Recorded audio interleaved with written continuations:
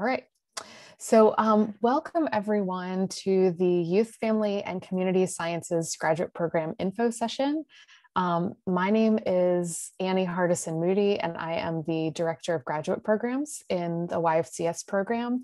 Um, we are just thrilled to have you all here today. And there are a few of us who are going to be talking about the YFCS program.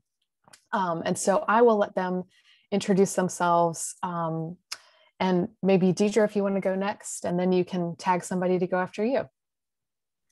Okay, thank you so much. Hi, everybody. I'm Deidre Craig. I do all of our communications for our department, um, as well as the Youth, Family, and Community Sciences graduate program, which is in the Department of Agricultural and Human Sciences. Um, I also do all of the coordinating for our graduate certificate program, and I'll be sharing more about our graduate certificate offerings um, later in the presentation. And I'll pass this on to Dr. Maru Gonzalez. Hello, everyone. My name is Maru Gonzalez. I am an assistant professor and I also teach in the YFCS program, and I'm a youth development specialist as well.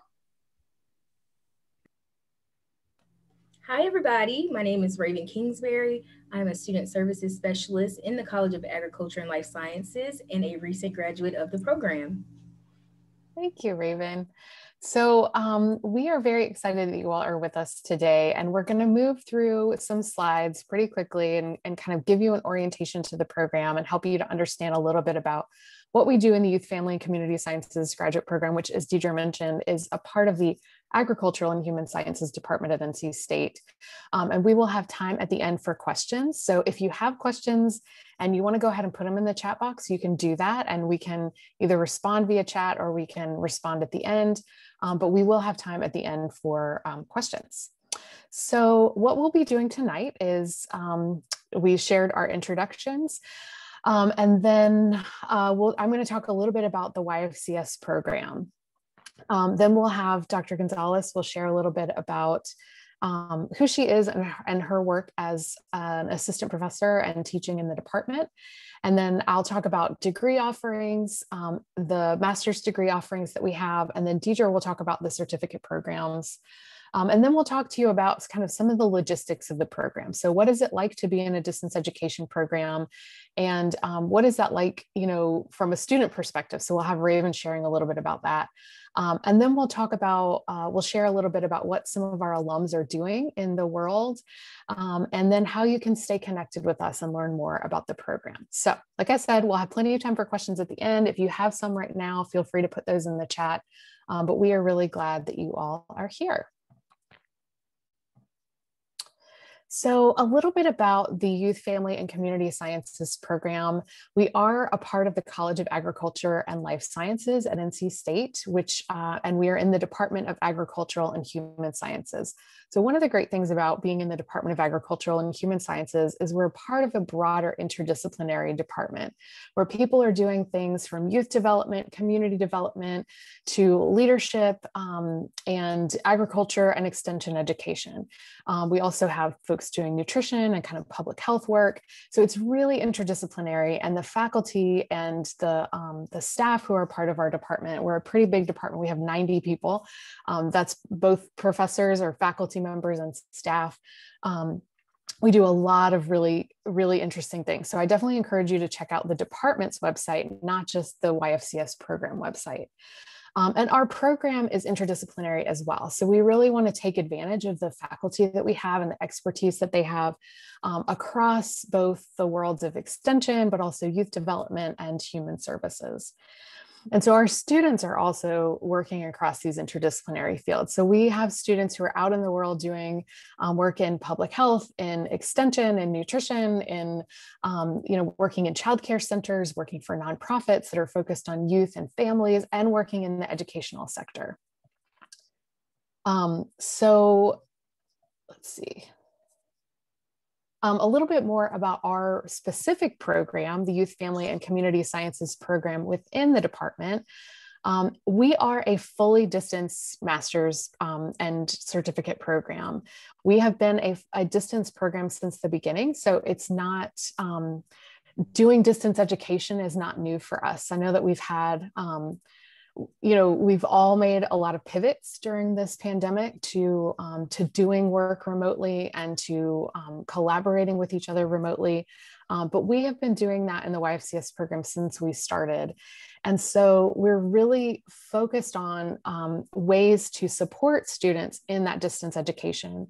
And so it gives our students a lot of flexibility in terms of you know um, most or all of our courses our classes when they meet they meet outside of traditional work hours, um, which allows our students to um, be a part of the program part time. They can uh, be a part of the program while they're while they're working.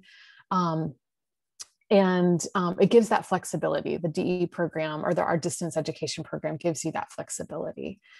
We also, through our program, we try to be flexible enough to allow students to focus on a particular program area. So you might be really focused in particular on, let's say, youth development, and you really want to focus your your electives and your um, your uh, those course that that particular coursework on youth development. But we also have students who want to gain a broad perspective in the field of family science or in um, they want to go through our, our, our certification track through the National Council on Family Relations, where you really gain a broad perspective on family science and on the study of the family. So you can kind of make the program your own. And I think Raven might talk about that in a little bit as well. Um, and then I'll share, you know, some of our um, kind of like hooray things that have happened because of our, our excellent program and our um, faculty. We were voted the number one online masters in human and family development by bestschools.com and the most customizable online masters in human and family development by onlinemasters.com. So very exciting things about the program. Um, and as I mentioned, our faculty are really interdisciplinary. So they're doing all sorts of really interesting research and extension work and teaching um, and these are the faculty who, uh, if you join us in the Youth Family Community Sciences program, who would be kind of your primary faculty. But as I mentioned earlier, we are part of a broader department called Agricultural and Human Sciences. So like I said, feel free to check out our department's website and you can see the full faculty listing to learn more about what other faculty are doing in other arenas like local foods or leadership development. Um, but in the Youth, Family, and Community Sciences program, these are the faculty members who teach in the YFCS program and who you would predominantly have and who would serve um, you know, as your advisors as you go into the program. So definitely encourage you to learn a little bit more about our faculty by visiting our website.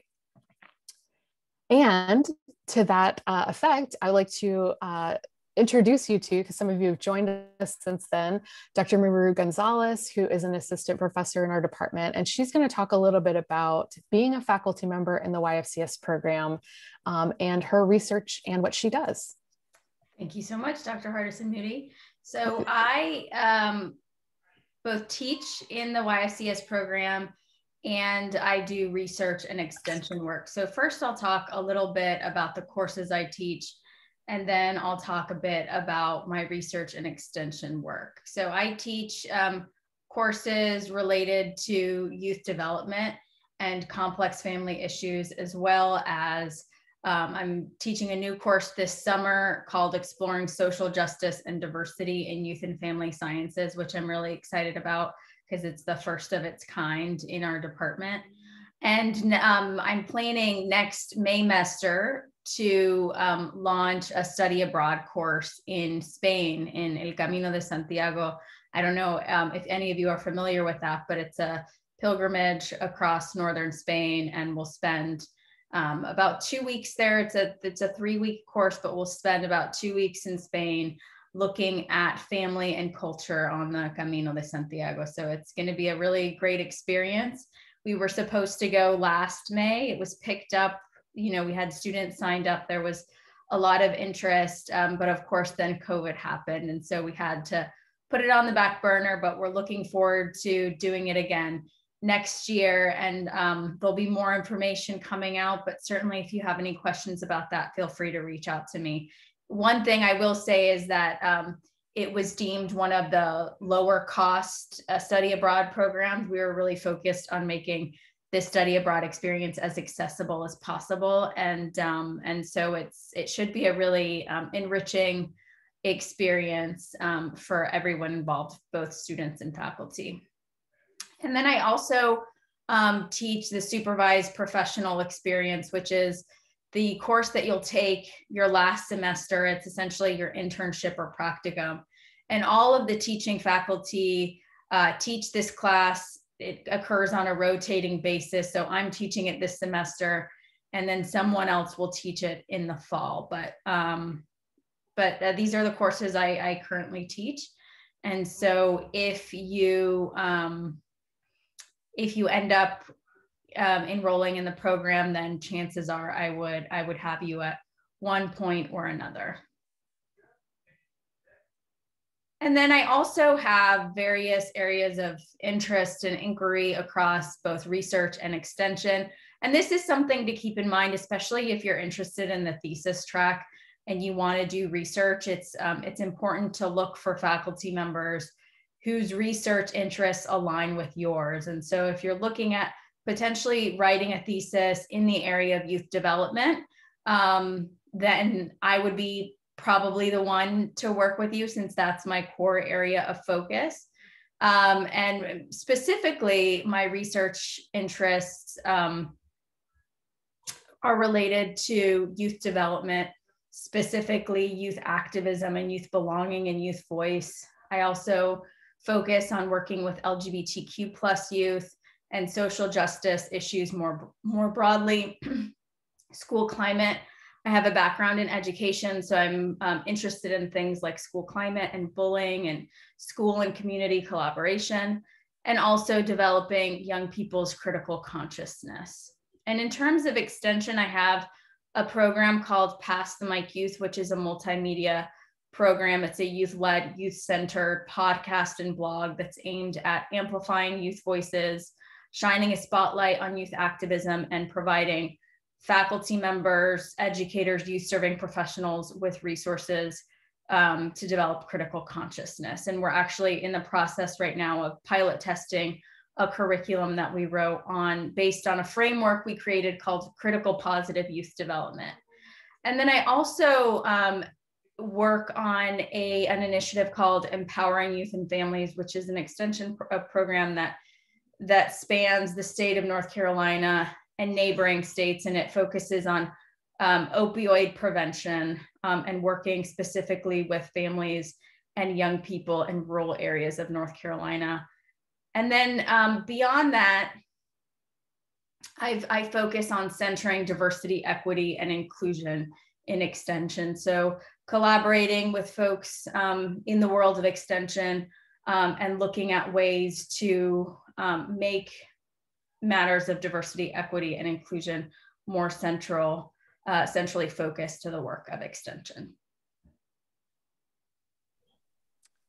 Thank you so much, Dr. Gonzalez. We really appreciate that. And um, as she mentioned, um, you know, getting to know the faculty is really important at this stage when you're trying to figure out what program you're interested in or if you're interested in our program.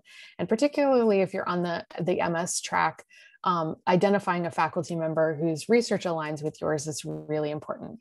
One thing that I did want to point out that I realized that I've talked about um, is the word extension. And um, for those of you who are not familiar with the land grant system, um, NC State is a, is a land grant university, and as part of being, um, as, a, as a part of that uh, kind of institutional system, we have sort of three pillars of the work that we do in our department and um, in this program, and they are research, teaching, and extension. And by extension, what we mean is kind of extending the work of the university into the community. So in North Carolina, a lot of the ways that that works is we have 100 county offices, county cooperative extension offices that are um, that are shared uh, offices between NC State and NC A&T State University.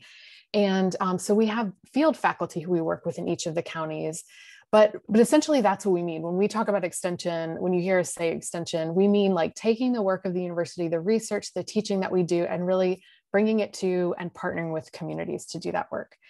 Um, so i just wanted to share that So, we want to talk a little bit about the programs that we offer. So, you might have looked around on our website and, and seen that you're interested in the YFCS program. And we wanted to share a little bit about um, what that would look like if you join our program. So, to begin, we have two master's degree programs. We have what's called the MR degree. And a lot of times people say, What does the R stand for? And what that stand for is, stands for is just a Master of Youth, Family, and Community Sciences. So, that's just the abbreviation that we have um, at NC State is just MR. So it's a it's a Master in Youth, Family, and Community Sciences.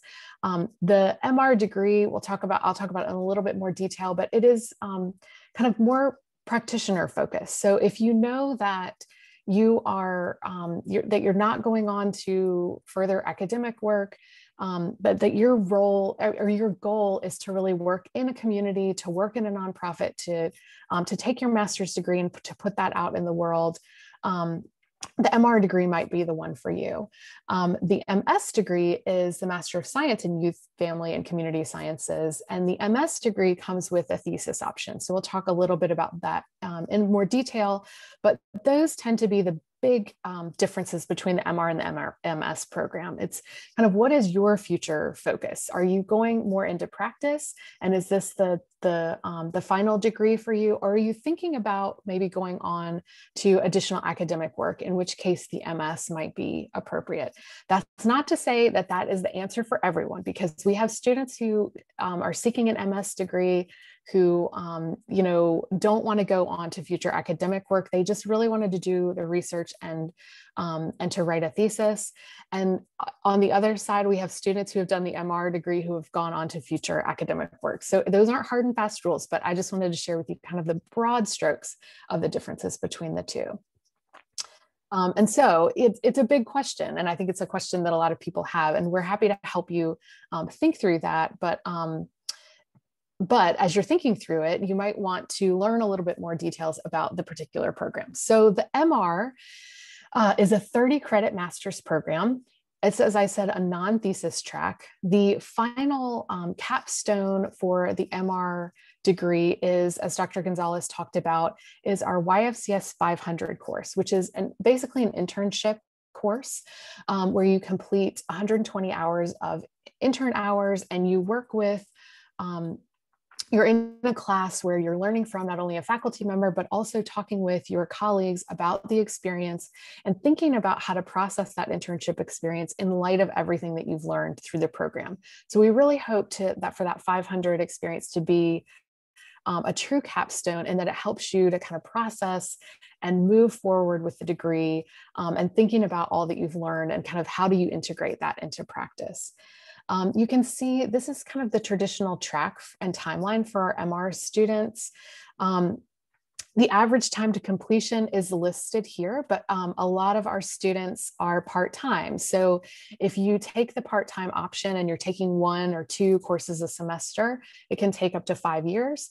If you are in full-time coursework, which is three credit or three courses um, uh, nine credit hours a semester, then you can complete this degree in two years.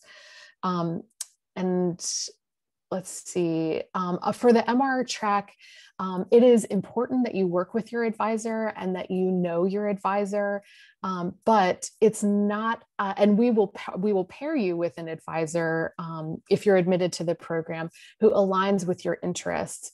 Um, but as Dr. Gonzalez said, if you're on the MS track, it's a little bit more important that you're um, that your advisor kind of matches closely your particular research interests, where it's not as important in the MR degree. You're getting kind of more of a broad background. And um, although you're going to learn from all of the faculty members, you know, your advisor is there to be sort of a sounding board for you, and they don't guide your, um, your particular research project because it's a practice oriented degree.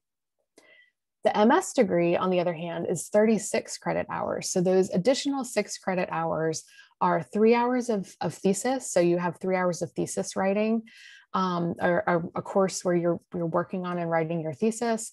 And then you also have three hours of statistics that are required.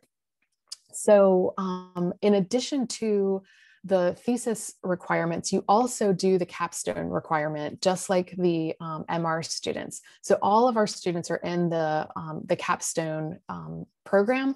It just serves, in the 500 experience, it just serves as the capstone for the MR degree, whereas it's a, a, a piece along the way of getting your MS degree. It's typically you do the, the 500 experience kind of right before you do your thesis work. So again, even though this is a more academic track, the goal of our program is this continual kind of um, thinking about theory and practice and how do those two interact with each other.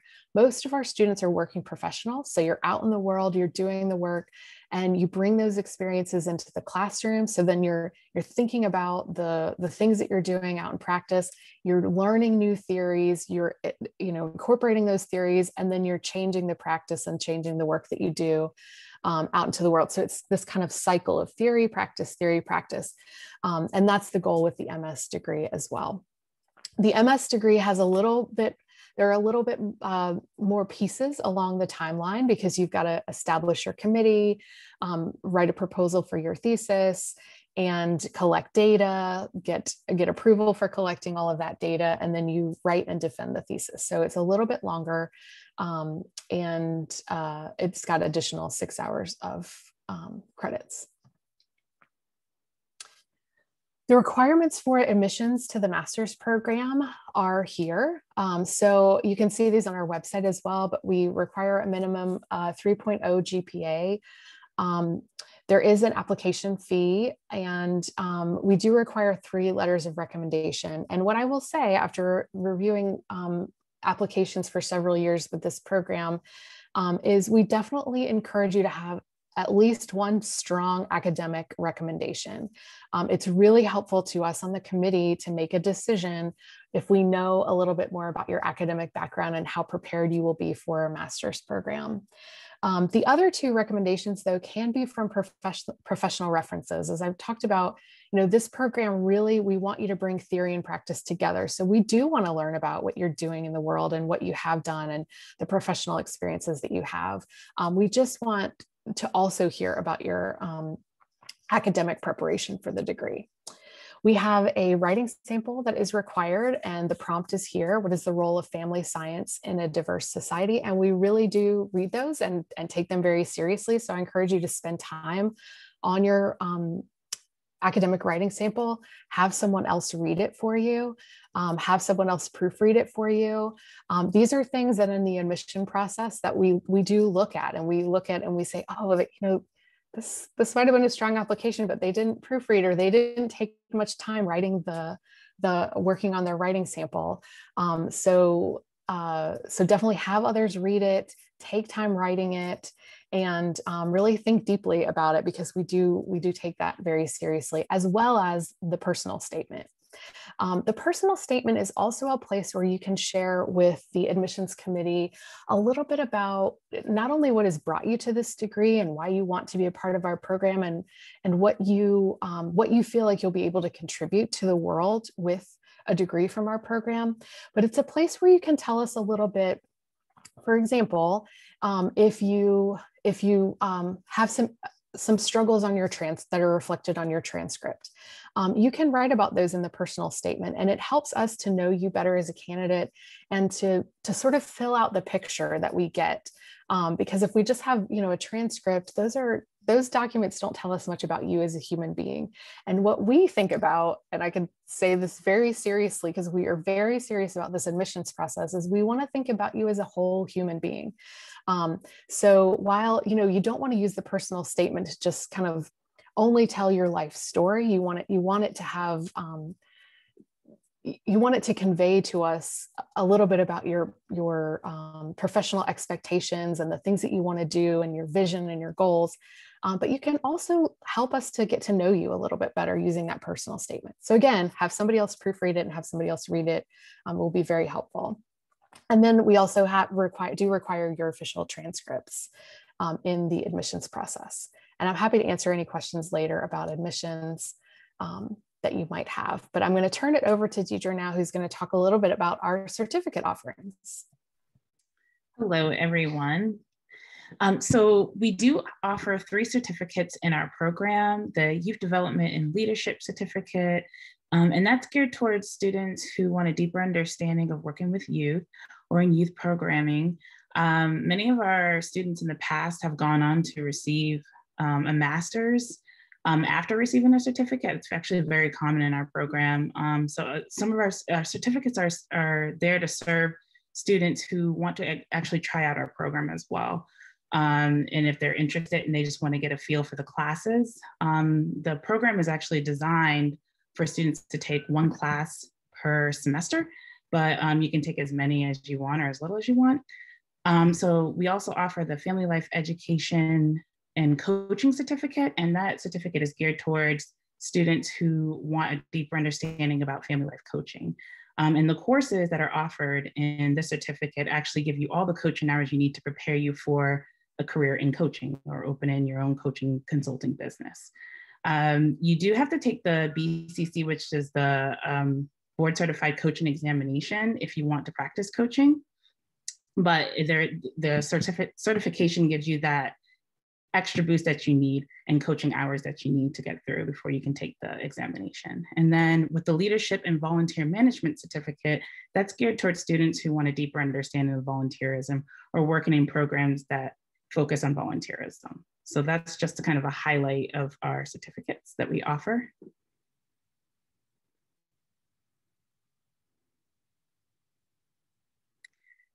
So like I said, it prepares professionals to better serve in their role as family life or parent educators or youth professionals. Um, just like the master's degree offerings, um, our certificates are also offered fully online. Um, each certificate is 12 credit hours. That's four classes, three credit hours per course. And like I said before, they're all transferable into our master's program, all 12 credit hours.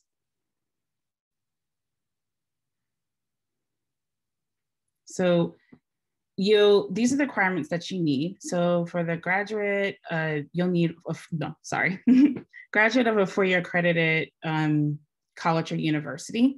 Um, unofficial undergraduate transcripts, um, just like the master's degree, you'll need a 3.0 GPA.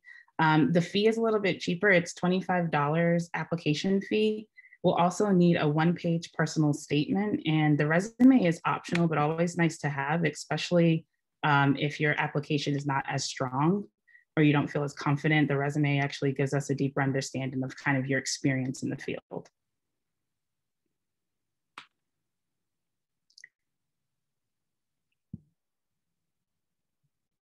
Is that me?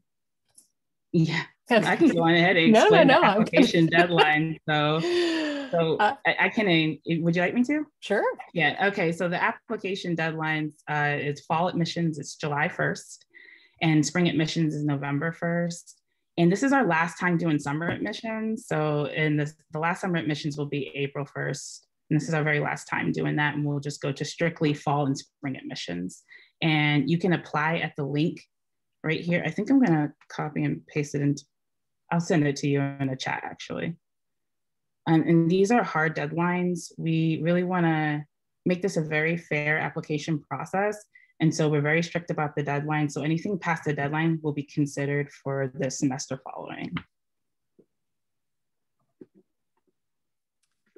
And I can talk a little bit about kind of our approach to admissions. As I mentioned earlier, you know, we want to know you as a full human being. And when we're looking as an admissions committee, whether that's for the certificate or whether that's for the master's programs, we want to, you know, know who you are um, because um, we will be together, you know, for some period of time. And um, and and so we want to kind of get a sense of your your passions your interests and the work that you've done and the work that you hope to do um, we do have some flexibility in the admissions program um, but there are some hard and fast things that the graduate school will kind of kick back. So one is the gpa and um, and as Deidre mentioned you know if you have um, if you have below a 3.0 GPA, but you're interested in the master's program, one way to um, demonstrate to us that you are capable of um, admission into the master's program and that you could um, you know, demonstrate an above 3.0 GPA is by taking courses through the certificate program or as a non-degree student um, at NC State. We recognize a lot of our students, um, I think Deidre is working with um, the college communications office on a story about this, but a lot of our students are coming back to, to to graduate school or to school for the first time in a long time. And so, like I said earlier, there might be things in your life story, there might be struggles that you've had that have impacted your GPA and that have impacted, um, you know, your grades in the past. And so, we don't want that to um, keep you from a graduate education if you are meant to be, um, you know, here in our program. And so, um, as Deidre mentioned earlier, the certificate program might be a nice way to demonstrate um, that you are ready for a master's program, that you are, you know, uh, that you're capable of, of holding a 3.0 or above GPA. And so, if you're interested in that option or want to think about that with us, we're happy to um, either Deidre and I or I can answer questions about that um, with the program. The tuition, this is another kind of um, important thing to know about the program. Um, the uh, tuition costs are set by the university. Actually, they're set by the um, they're set by the board of governors. So we are a part of the UNC system, the broader UNC system, and so the board of governors sets things like tuition. Um, and so uh, we, we don't have any control over what the tuition costs are, but you can always check on those with NC State. You can visit the cashier's office. Um, and then there's some websites available here where you can look at the, um, the costs at the university. But um, those are set beyond us. So even though we'd love to probably set the tuition rates, we are not able to. And that's something that comes from um, not just from NC State, but from our broader system. But you can learn more about how much it would cost and, and your costs will be different depending on the number of credit hours you take. So if you are part-time student, you know, and you're only taking one course, you would be paying for three credit hours. If you were a full-time student, you would be paying for nine credit hours. One thing that as the new director of our graduate programs that I'm learning more about is we do have um, we do have scholarship options at the college level or even at the university level that um, we want to start tapping into and some things that i'm becoming aware of that we want to um, that we want to put our students forward for. So we are going to be doing more of that in the future. And so if you have um, uh, don't don't hesitate to reach out to us. Don't hesitate to look on the nc state scholarships and financial aid website. Um, if there are scholarships that we can put kind of put you in touch with or if there are ways that we can support you for a scholarship at the university or the um, the college level like we are going to be doing that a lot of that in the future. So um, we're hoping to to to break down some of those barriers that people have to graduate education and I mentioned some of this earlier, but our program really is, um, we are a fully distance education program, the master's program and the certificate program. Um, but that doesn't mean, I think before COVID, everyone thought that when you had um, distance teaching, that it meant that you would log into a website and that your professor would record a video and then you'd maybe do an assignment, um, which is what's called asynchronous um, learning. But almost all of the courses in our program um, are incorporate synchronous learning. And that means that just like we are now, we gather in our courses and we get together in um, synchronous meetings. Um, and those are held in evening hours so that people who are working during the day can attend. Um, and we get together just the way that you would in another graduate seminar. So your professors might lecture some, you will have a lot of um, a lot of discussion. You know, we expect students to come to class having done the readings and being able to discuss those with us. You will present to each other as students. You will lead class on your own as students sometimes. It functions very similar to, to other um, graduate education um, programs in that way. We're just meeting each other over the computer as opposed to meeting each other in person. So we use Zoom a lot. Um, we use, we have a learning management uh, system called Moodle at NC State. Um, but we try to make that customizable and flexible. So if, you know, um, if if there is something that comes up that prevents you from being in class in the same way that you know if you had something that came up from pre- preventing you from being in an in-person um, an, an in-person class your professors will work with you and we want to be flexible with you. Um, and we're really like caring human beings so we care a lot about our students. Um, but we are designed for working adults. And so, with that in mind, I want to turn it over to Raven Kingsbury, who I am so thankful that Raven is joining us because not only is she an alum of our program, but Raven also serves on our graduate studies committee. So is helping now to kind of set policy and help us to think about how to improve the, the YFCS program from the graduate students perspective. So Raven, I'll hand it over to you. And of course, I have minimal critique because the program is amazing. but again, my name is Raven. Um, I just want to talk to you a little bit about my experience in the program. So I started out in summer of 2017. I was actually a student in the certificate program for um, family life coaching and education.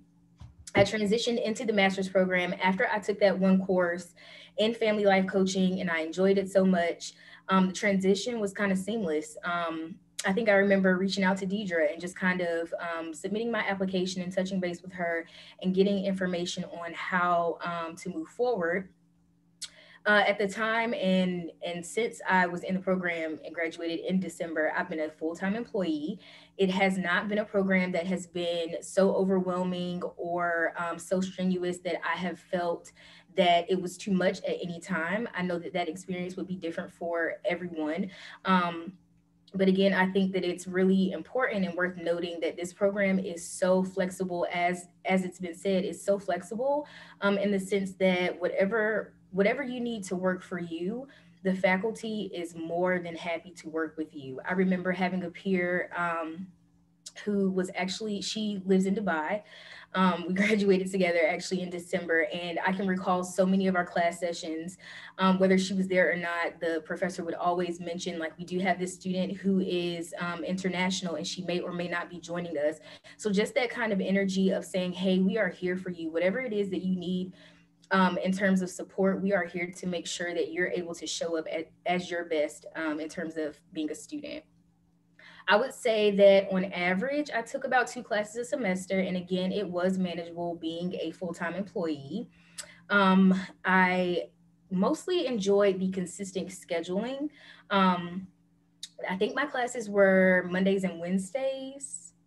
Mondays and Wednesdays, maybe occasional Thursday, but that was pretty consistent from semester to semester. So that was extremely helpful in just planning and kind of wrapping my head around getting in the consistency in this in the routine of uh, school and graduate school. Um, more than anything. In terms of navigating, um, as it's been mentioned, Moodle is our learning system. It is extremely user friendly. And if not, um, there is a virtual orientation that is available through our distance education department that will give you a step by step of how to work that platform. If you are here with us today, you are uh, probably pretty familiar with Zoom. But again, if you are not, uh, we do have options. Um, through the help desk that will help you in terms of your technology, making sure that things are up to date, if you're having any issues, and just making sure that you are able to participate in the best way possible. In terms of engagement with instructors and peers, I will say that I had the best experience. Most of my courses were completely intimate, I would say. Um, and that's just just kind of going from the larger lecture hall classes that you would see in undergraduate to going to a class of probably uh, usually around 20 or less. It gave me the opportunity to get to know my peers. There were several different courses where it was not just a class discussion where we were actually exchanging emails and exchanging telephone numbers and just kind of engaging with ourselves outside of that and just supporting each other in that way. And in that same way, the faculty has been more than helpful.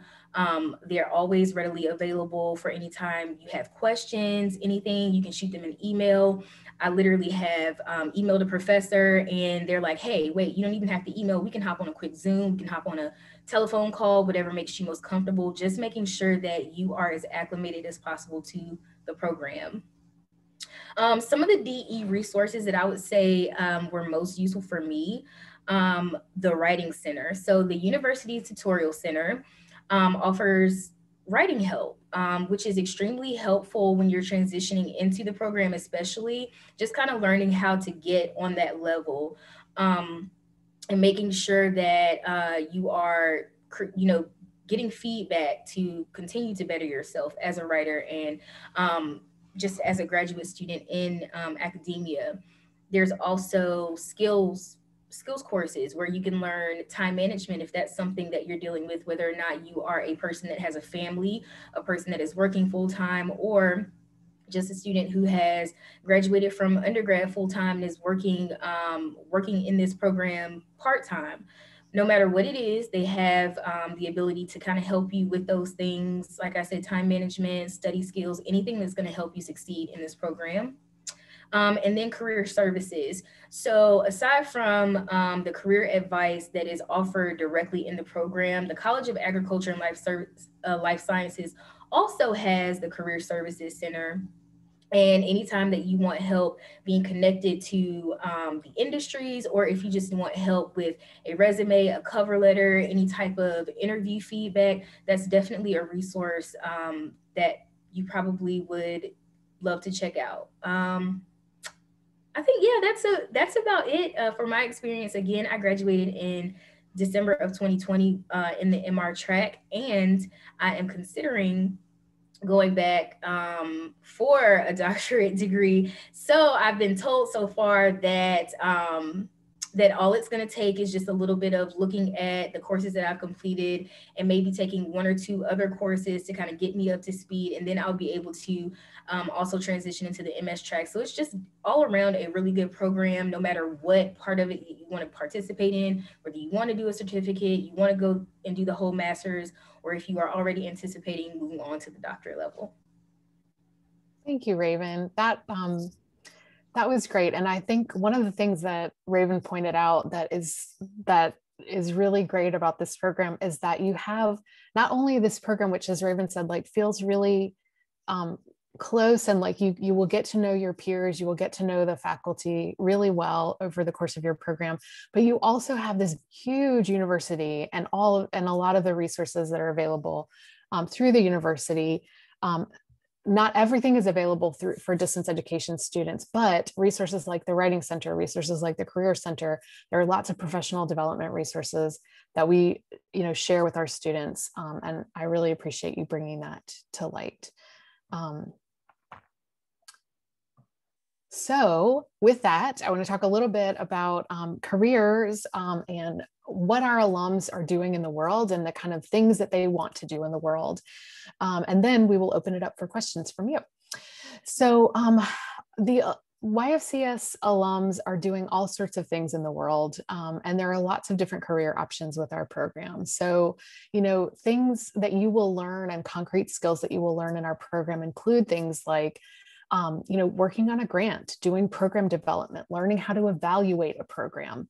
Um, you'll also gain a broad theoretical knowledge and understanding of families and family systems and and and youth and um, kind of principles in youth development. Um, and so those foundational theories can help you to have the content that you need to work in you know nonprofits that are focused on youth families communities to work in the education system.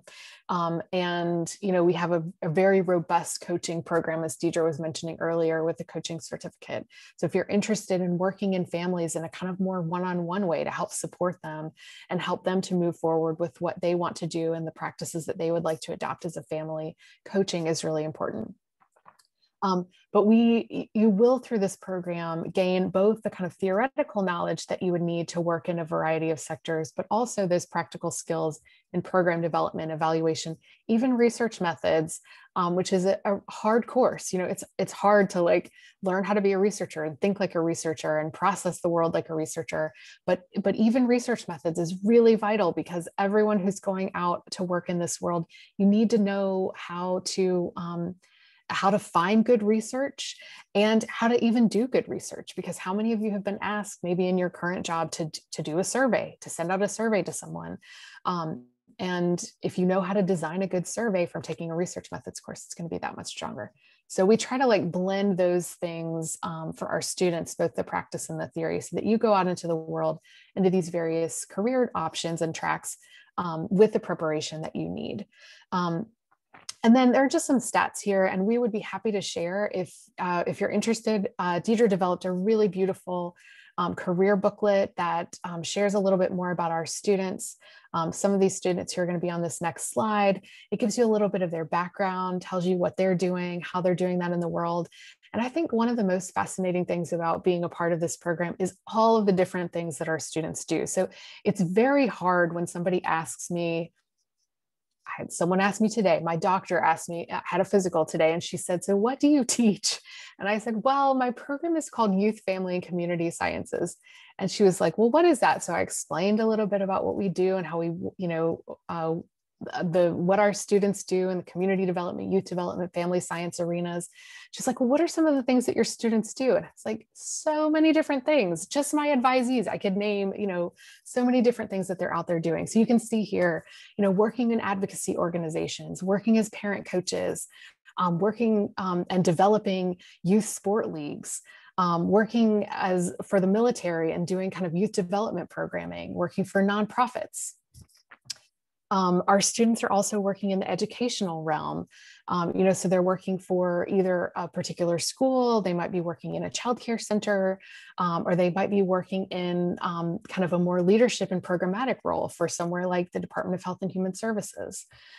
So they do all sorts of things. Um, and we, we see here we have uh, students as well who are researchers who are going out and doing research with their master's degree. So there are lots of different things that you can do. And when you look at the coursework and when you look at what our faculty do, you'll get a better sense of that. Um, but we are we are an interdisciplinary program, but we're interdisciplinary in a way that um, I think brings it all together because our, our focus is on empowering youth, families, and communities um, to to strive towards health, to think about and strive towards equity, and um, and and to just strive towards like wellness and well-being. So I think that if you look across all of our students and the faculty and the work that we do, those are some of the core tenets um, that you will both learn in our program and that you will um, see in our alums as well. So I'll turn it over to Deidre for some final comments about how you can stay connected with us. Hello again, everybody. So we have a couple of different ways that you can stay connected with us. We want to continue to talk with you and answer all of your questions. So I'm going to drop not only our email addresses, but our Instagram, our Twitter, and our Facebook handles into the group chat, as well as a link to our department website and our program website. And on our program website, it has a lot of FAQs on there. So if there's any specific questions that you have, the FAQs may be able to answer that, of course. Um, you can reach out to any one of us um, and we'll be happy to answer any of your questions regarding admissions. Um, but our Instagram, Facebook, and Twitter handle is there as well, and we provide information for prospective students as well as current students. So feel free to check us out, like, comment, follow, subscribe. Thank you. Thank you. So we are now open for your questions um, and I'm going to stop sharing so that we can see your faces. Um, if you all have any questions for us that you would like for us to answer, now is the time. But thank you all very much. It's um, it's been nice to get to share a little bit about our program, and I really appreciate um, Raven and Dr. Gonzalez for sharing your perspectives as well. So.